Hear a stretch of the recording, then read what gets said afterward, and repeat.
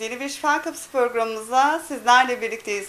Bu hafta da Vizyon 58 Televizyonu İstanbul temsilcisi Esra Polat'ın hazırlayıp sunduğu Şifa Kapısı programının bu haftaki konu Avrasya Hastanesi doktorlarından plastik cerrahi uzmanı operatör doktor Fuat Kurşun oldu. şu ölçüler şuna göredir. Ya da işte bir bayanda burun şöyle olur, kulak böyle olur. Gözün kulakla, e, burunla mesafesi şu kadar olur, çene şu kadar çıkıntılı olur gibi söyleyemeyiz.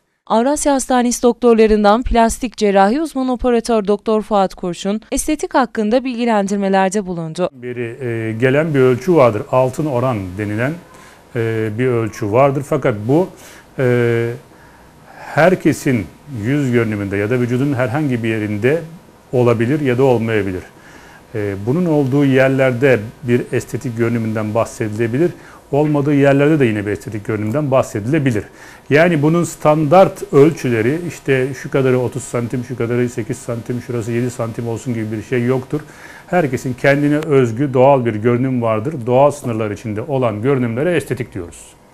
Doğaldan uzaklaştıkça estetikten uzaklaşıyoruz demektir. Önemli olan tanımlama budur. Estetik ameliyatın amacı makul sınırlar içinde bir sonuç elde etmek. Ee, ama bunu e, bir ameliyatta, iki ameliyatta, üç ameliyatta da elde edebiliriz. Tek bir ameliyatta da elde edilebilir duruma göre. Yani e, standart bir ölçüden bahsetmiyoruz. Doğal görünen e, her ölçü estetik olabilir. Kurşun, burun ameliyatı konusunda ise şunları kaydetti. Doğal ameliyatlar gerçekleştiriyoruz demek çok iddialı ama doğal sınırlar içinde kalmaya çalışıyoruz diyelim. Yani burnu kocaman bir burundan çok küçük bir burun çıkartmaya çalışmak hem e, hastanın e, imajını etkileyecek, kendisine ait beden imajını etkileyebilecek hem de e, solunum problemi ortaya çıkarabilecek bir durumdur.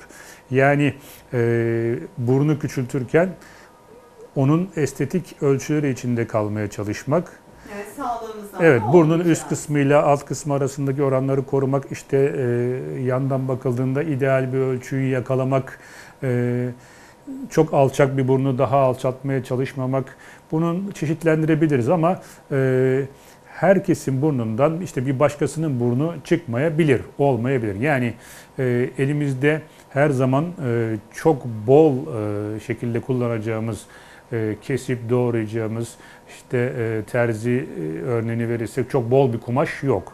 Bazen de bol kumaş çok bol olup e, onu çok küçültme imkanı da olmayabilir. Yani belirli ölçüde. Elbette.